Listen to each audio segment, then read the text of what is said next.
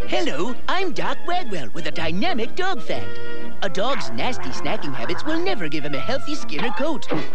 It's true. That's why I'm introducing new Wagwell's treats, made with real beef dogs naturally love. Yeah, yeah, yeah. Plus vitamins for healthy skin and a shiny coat. Left to their own devices, dogs cannot choose a smart snack. Voila.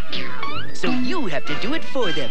For healthy skin and a shiny coat, treat your dog right with new Wagwell.